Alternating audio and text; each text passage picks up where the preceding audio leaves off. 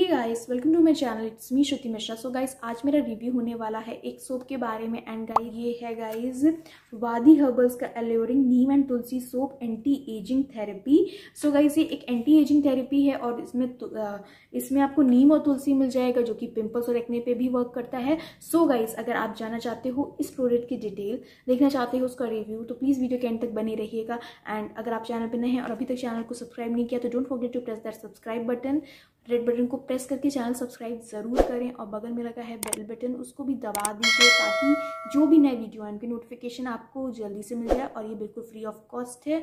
सो so guys video पसंद आने पे लाइक एंड शेयर ज़रूर करिएगा। सो गाइज़ चलिए स्टार्ट करते हैं इसका।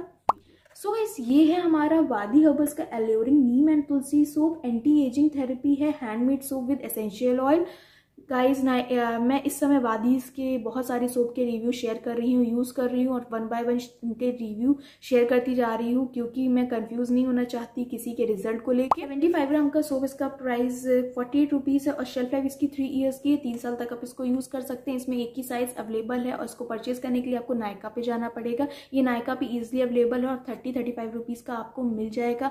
इस सोप में काफ़ी अच्छी वेराइटी है अलग अलग स्किन टाइप पे अलग अलग स्किन प्रॉब्लम के लिए। इन्होंने काफ़ी अच्छे अच्छे सोप लॉन्च किए हैं। बात करते जाएँ इसकी पैकेजिंग की तो इस तरीके का कार्डबोर्ड बॉक्स में आता है। बैक पे प्रोडक्ट की डिटेल है और अंदर आपको मिल जाएगा इस तरीके का जेल बार जो कि आपको दो, जो कि आपको इस तरीके का जेल बार मिल जाएगा। कुछ थोड़ा सा ट्रांसपेरेंट टाइप का है। स्मेल इसकी बिल्कुल स्मेल इनके सोप्स में ज़्यादातर सेम है।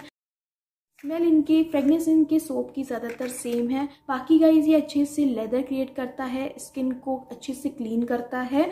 अगर मैं बात करूँ तो गाइज़ ये 100 परसेंट केमिकल फ्री है पैराबिन फ्री है no animal testing quality free है और आयुर्वेदा है वेजिटेरियन है। तो गाइज़ ये सब आपको खास बात मिल जाएँगी। अगर मैं बात करूँ इसके इंग्रीडियंट की तो गाइज़ इसमें स्टीम डिस्टिल्ड नीम है स्ट्रैक्ट्स हैं, प्योर तुलसी है स्ट्रैक्ट्स है, कोकोनट ऑयल है, डेरिवेटिव्स हैं, ऑलिव ऑयल है, कोकोनट ऑयल है, डीएम वाटर है। तो ये आपको की इंग्रेडिएंट्स मेंशन किए गए हैं और स्नैप मैं आपको स्क्रीन में दे ही दूँगी हर बार की तरीके।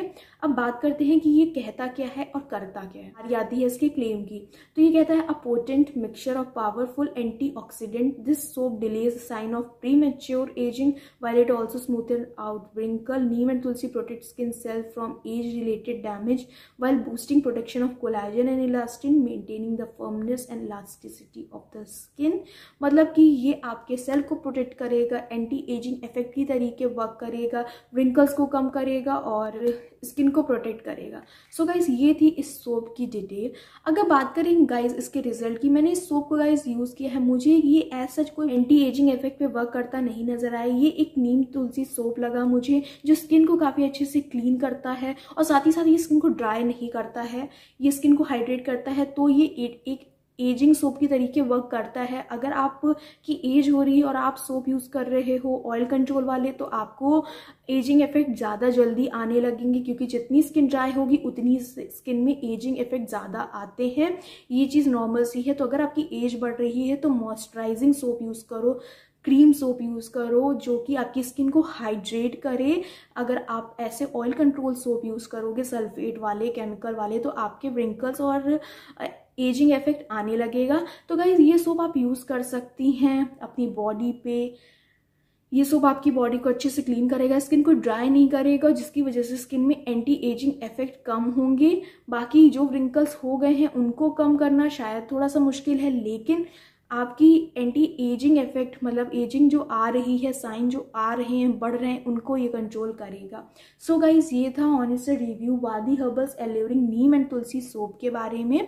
अगर आपको ये मेरा वीडियो हेल्पफुल लगा है, पसंद आया है तो प्लीज़ वीडियो को लाइक शेयर एंड सब्सक्राइब ज़रूर करें मेरे चैनल को। सब्सक्राइब करें रेड बटन को प्रेस करके बगल में लगा है bell button don't forget to press that कोई क्वेश्चन कोई करिए आप कमेंट सेक्शन में कमेंट कर सकते हैं वीडियो पसंद आने पर उसे लाइक ज़रूर करिए सो गाइज़ चलिए मिलते हैं नेक्स्ट वीडियो में।